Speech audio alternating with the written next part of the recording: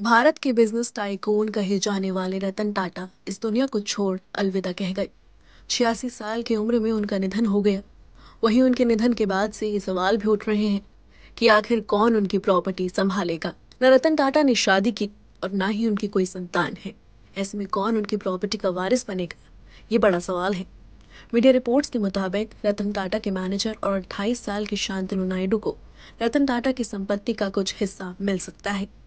शांतनु रतन टाटा के बेहद करीब था और उन्हें अपना बेस्ट फ्रेंड कहकर बुलाता था। रतन टाटा के अंतिम संस्कार से शांतनु नायडू के कई वीडियो वायरल हो रहे हैं, जिसमें वो काफ़ी इमोशनल होते हुए नज़र आ रहा है। शांतनु से जब पूछा गया कि वो किस हाल में है तो उन्होंने कहा कि मुझे बस जाने दो। वही रतन टाटा को ट्रिब्यूट देते हुए शांतनु एंबुलेंस के आगे बाइक चलाते हुए भी नज़र आए। शांतनु रतन टाटा के अंतिम संस्कार में सबसे आगे नज़र आए। टाटा के सबसे करीबी सहयोगियों में से एक और उनके भरोसेमंद सहायक शांतनु नायडू, रतन टाटा की उम्र के आधे से भी कम थे, लेकिन दोनों के बीच एक अलग ही रिश्ता था।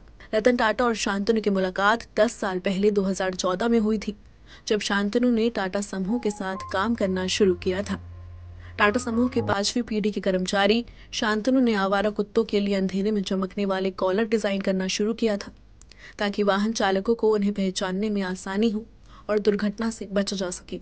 रतन टाटा की नेटवर्थ की बात करें तो मीडिया रिपोर्ट्स के मुताबिक रतन टाटा को भारत के सबसे अमीर लोगों में साढ़े तीन सौ स्थान मिला है, जिनकी कुल संपत्ति अड़तीस सौ करोड़ रुपए है।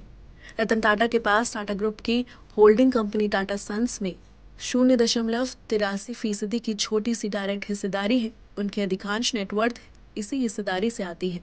ऐसी खबरें भी है कि रतन टाटा के संभावित उत्तराधिकारियों में नोएल टाटा का भी नाम आता है। नोएल टाटा रतन टाटा के सौतेले भाई हैं। पिछले कुछ सालों में टाटा ट्रस्ट में नोएल टाटा का रोल बढ़ा है। अभी वो सर रतन टाटा ट्रस्ट और सर दोराबजी टाटा ट्रस्ट दोनों के ट्रस्टी हैं।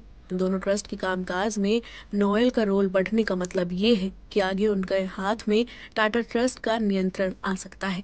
Bureau report, news nation.